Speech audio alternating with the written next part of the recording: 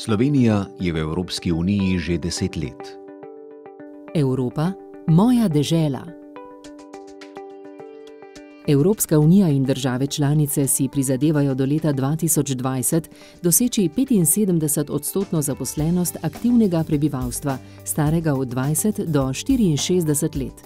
Brezposelnost med mladimi je velik problem. Tina Hajdinjak o položaju mladih brezposelnih v Sloveniji in Evropski uniji. Ko je Slovenija vstopila v Evropsko unijo, sem bila res precej mlada. Takrat smo se v bistvu ukvarjali predvsem z maturo in takšnimi stvarmi.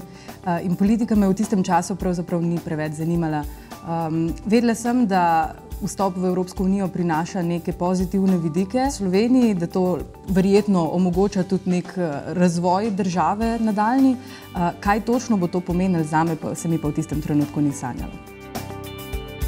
Jaz v bistvu iščem, iščem eno pametno zaposlitev že uh, več kot eno leto.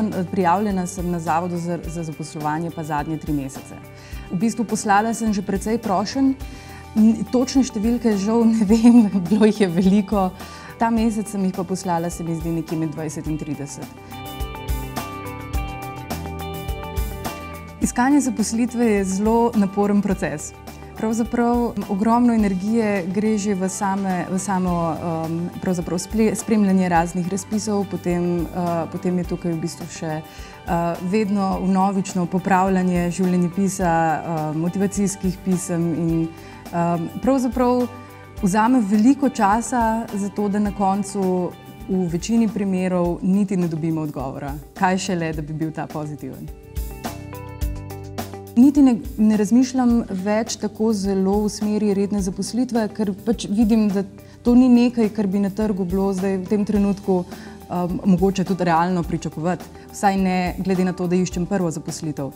Um, si pa predstavljam, da bi našla, ne vem, kakšno pogodbeno delo, Um, tako, tudi, tudi te oblike so mi, so mi blizu. V bistvu se že kar več kot pol leta aktivno razmišljam o zaposlitvi v tujini.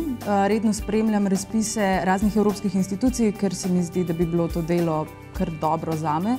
Um, potem, pa, potem je pa tukaj v bistvu še zelo meni osebno zanimiv program European Voluntary Service, ki omogoča uh, kratke, kratko in dolgotrajne um, volonterske izmenjave med organizacijami, ki so pač v sistemu znotraj Evropske unije, seveda.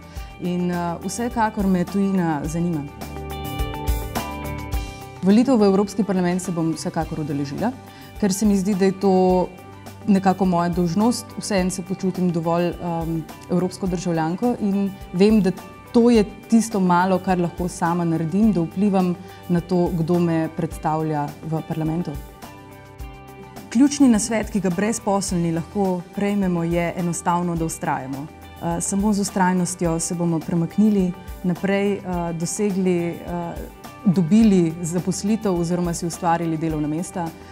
Nikakor pa ni rešitev v pritoževanju, ki ne pelje nikamor. Evropa, moja dežela.